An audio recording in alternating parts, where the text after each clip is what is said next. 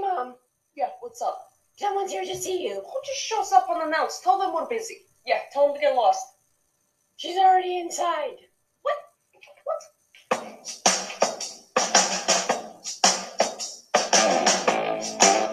Hi.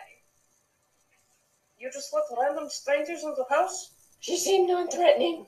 Yeah, and we didn't hire an Elton John impersonator, but there's a lovely couple across the street, Rick and John. They probably did, so you're at the wrong house. No, I'm your new neighbor. My name's Krishell. Not Christine, not Michelle. Krishell. Huh. It's an interesting name. I know. It's my new name. My maid from a couple years ago's name was Krishell, and I just thought it was so unique and different, so I made her legally change her name, and I took her name and legally changed it to Krishell.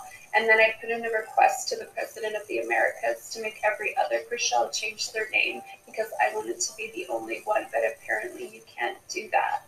So instead, I put the sparkle emojis on both sides of my name legally. So instead of Krishell, it's Krishell. Well, it's lovely to have you in the neighborhood. Yeah. Uh, would you like a beverage or something? Water, sparkling. We have tea. The last time I had tap water was when I was physically dying of dehydration at Ibiza, and they were all out of Boston Fiji water bottles. So this sweaty guy cracked out on Molly, put a beer bottle of tap water into my throat. I would have rather died. Pass.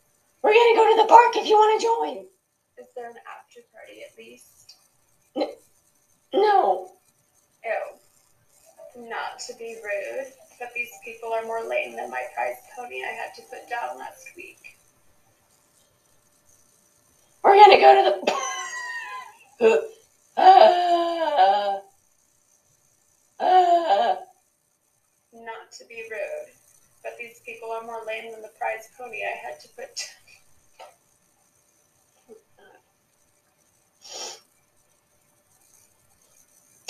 was dying of dehydration at a rave in Ibiza. And they were all like,